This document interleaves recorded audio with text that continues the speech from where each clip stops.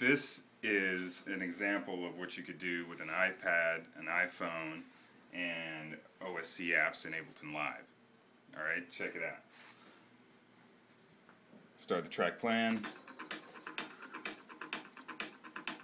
On our iPad, we've got our song locate points.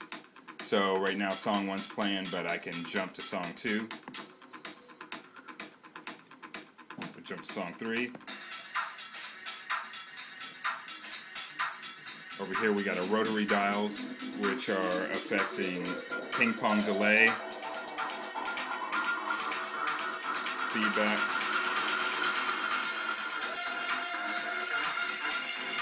We got our mix fader level here.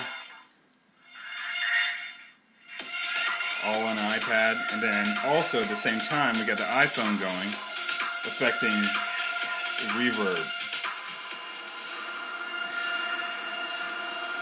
Yeah.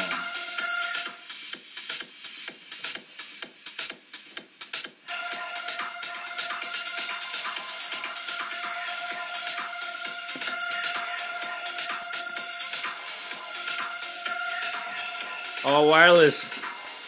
No wires. Ah.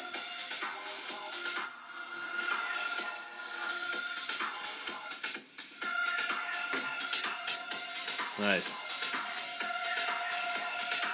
Then we got HD video to go go with it.